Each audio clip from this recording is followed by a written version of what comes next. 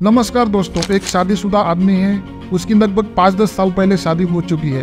तो उसको पहले से पता चलता है कि उसकी बेबी अभी गुस्सा करने वाली है, या उसकी बेबी कब खुश होती है, उसकी बेबी कब नाराज़ होती है, उसको पहले से ही पता चल जाता है। ऐसा क्यों होता है दोस्तों? उसका बिहेवियर बिहेवियर का मतलब क्या है दोस्तों? हम स्टॉक मार्केट की लैंग्वेज के अंदर अगर बात करते हैं तो उसका पैटर्न जैसे आपका भी एक पैटर्न बनता है, मेरा भी एक पैटर्न बनता है हम सबका एक पैटर्न बनता है दोस्तों। और आज हम उस पैटर्न के ऊपर ही बात करने वाले हैं। तो चलो फिर शुरू करते हैं।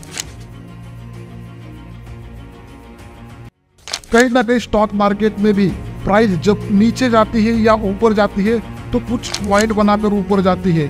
और अगर हम उस पॉइंट को ज्वाइंट कर दे तो एक पैटर्न तैयार होता है दोस्तों। मार्केट के अंदर भाव का जैसा मूड होता है, वैसे पैटर्न देखने को मिलते हैं। पैटर्न के साइकोलॉजी को समझना ज़्यादा ज़रूरी है, ना कि पैटर्न के शेप को पढ़ना।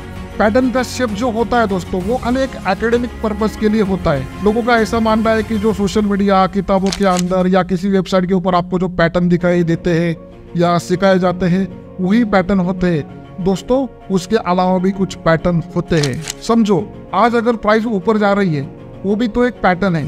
वैसा पैटर्न दोबारा बनेगा तो रिज़ल्ट वही निकलेगा जो पहले वाले पैटर्न का था। ज़रूरी नहीं है कि वो पैटर्न आपने किताब में पढ़ा हो या उस पैटर्न का कोई नाम हो। जैसे कि हर एक एनिमल का अलग अलग शेप होता है, वैसे ही हर एक पैटर्न का अलग अलग शेप होता है। आपको खाली शेप से शेप मिलाना है रिज़ल्ट सेम मिलेंगे। पैटर्न हर वो चीज़ है जो आपको चार्ट के ऊपर दिख रही है। पैटर्न ऐसी कोई चीज़ नहीं है, किसी ने आपको निकाल कर दे दी और बोला कि ये हो गया तो बन गया पैटर्न मैं आपको एक एग्जांपल देता हूँ, जिनके अंदर एक लेडी थी, वो चीज़ के अंदर बहुत माहिर थी।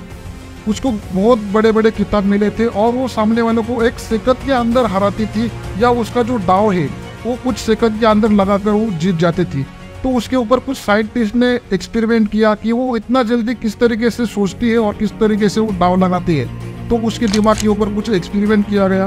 उसके बाद ये रिज़ल्ट आया कि उसकी बरसों की जो मेहनत है, उसने जो प्रैक्टिस की थी, वो प्रैक्टिस की वजह से उसके दिमाग के अंदर कुछ पैटर्न छिपे थे और वो जैसे ही पैटर्न बनते थे, वैसे ही वो लेडी अपना दाव लगाती थी और वो जीत जाती थी।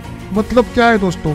उसने जो प्रैक्टिस की थी, उस प्रैक्टिस के अंदर, उसके दिमाग के अंदर बहुत सारे पैटर्न बने थे। वो पैटर्न जैसे बनते थे, उसका दिमाग उसको बोलता था कि देखो, ये पैटर्न बनने के बाद इस तरीके से रिएक्शन देना है। और बिल्कुल उस तरीके से वो रिएक्शन देती थी, क्योंकि उसको पहले रिज़ल्ट मिले थे, इसीलिए वो पैटर्न देखकर वो दाव लगाती थी और वो वहाँ पर जीत जाती थी। और इसी तरह स्टॉक मार्केट में भी पैटर्न बनते हैं और वो पैटर्न हमें प्रैक्टिस के साथ दिखाई देते हैं। कब मार्केट कंसोलिडेशन करेगा, कब ऊपर जाएगा, कब मार्केट नीचे गिरेगा, ये पैटर्न हमें प्रैक्टिस के साथ दिखाई देते हैं। इसी तरह स्टॉक मार्केट में भी कुछ पैटर्न बनते हैं और वो पैटर्न हमें प्रैक्टिस के साथ दिखाई देते हैं दोस्तों। किताबों में खाली इतना ही लिखा होता है कि ये देखो, ये पैटर्न बन गया तो इस तरीके से यहाँ पर एंट्री लेनी है और ये आपका स्टॉप लॉस है और ये आपका टारगेट है। लेकिन दोस्तों मेरा फंडा ये है पैटर्न अगर बनता है ब्रेकआउट देता है तो पैसा तो बनने ही वाला है।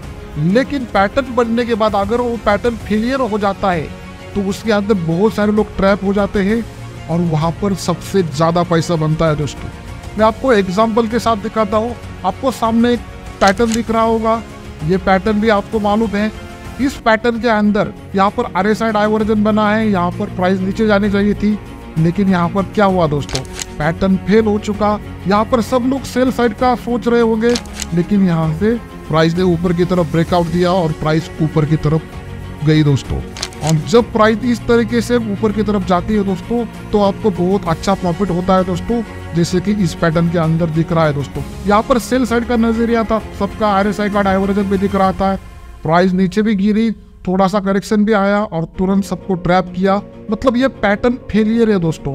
जैसे कि आपको सामने हेड एंड शोल्डर दिख रहा होगा हेड एंड शोल्डर का ब्रेकआउट आया प्राइस थोड़ी सी ऊपर गई और यहाँ पर पैटर्न फेल हो चुका है दोस्तों। और उसके बाद देखो किस तरीके से करेक्शन आया।